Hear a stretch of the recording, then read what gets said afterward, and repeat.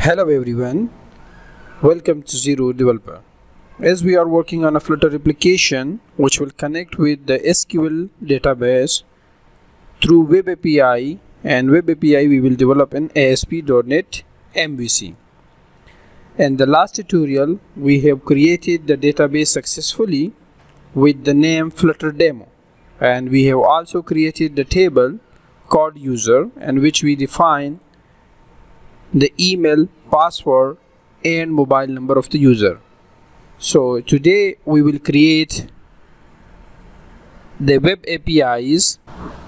So let's open the Visual Studio. I'm using the Visual Studio 2019 but you can use any Visual Studio. Then we need to click on create new project. Once you click on it you will able to see this wizard where you can find or you can search for web APIs so once you search on for this you will able to see ASP.NET Core Web APIs, ASP.NET uh, Core Web APIs, one in F Sharp and one is C Sharp.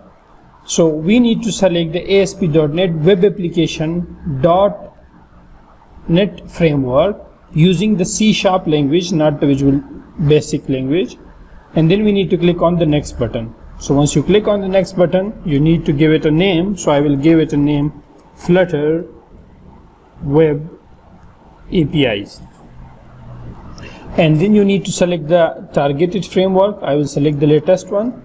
And we need to click on the create button. Once you click on the create button then it will show you this wizard where you need to select the web APIs and then you need to click on the create button. And it will start creating the project. The solution is ready and now we just need to click on the run button. So once you click on it it will run on Google Chrome or you can change the browser. I will show you.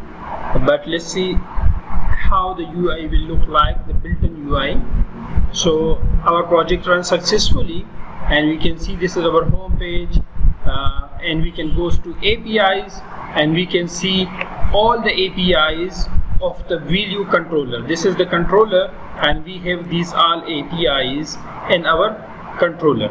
So now let's test by the postman. So first of all you need to open the postman. So we need to open a new tab in a postman and we will go to our browser.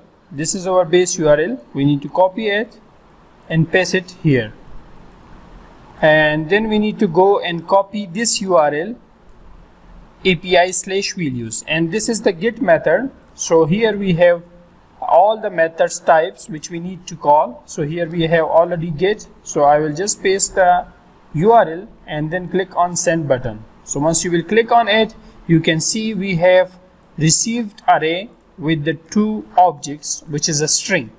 So how we will see like how it's returning. So for we need to go to values controller and as we can see it's returning value 1 value 2 and we can also add the third one for the testing.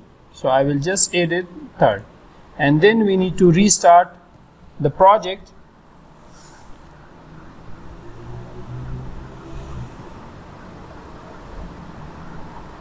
And we need to send the request again